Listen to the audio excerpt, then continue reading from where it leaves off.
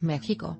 En el segundo día de la consulta, se reportan más inconvenientes, votos repetidos y, ahora, hasta queos. El Universal publicó que en el Hidalgo se registró una falla en el sistema de consulta del nuevo aeropuerto, se corrigió y la aplicación ya no permitió el voto doble, sin embargo, se tuvo que suspender la actividad 15 minutos después debido a un supuesto hackeo. Cayó el sistema en el Zócalo en la casilla instalada en el Zócalo de la Ciudad de México se cayó el sistema por unos minutos. Algunas personas que esperaban en la fila se marcharon del lugar mientras que otras fueron a investigar. Surgió la versión que dos de los teléfonos móviles que cuentan con la aplicación para registrar los datos se quedaron sin batería. Foto, agencias. Foto, agencias. Foto, agencias. Foto, agencias. Foto, agencias. Foto, agencias. Foto, agencias.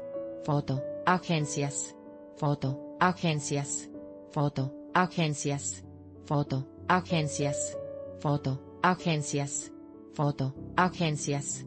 Foto, agencias. Foto, agencias. Foto, agencias. Foto, agencias. Sigue el voto doble se reportó que aún es posible votar dos veces.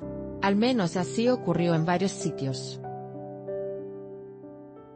Por ejemplo, en la alcaldía Venustiano Carranza, en la Plaza de la Aviación, y en la Plaza Cívica Benemérito de las Américas. Al menos en estos dos lugares, el sistema no tenía registrado que este jueves, el mismo reportero había emitido su voto en tres mesas distintas de la misma alcaldía.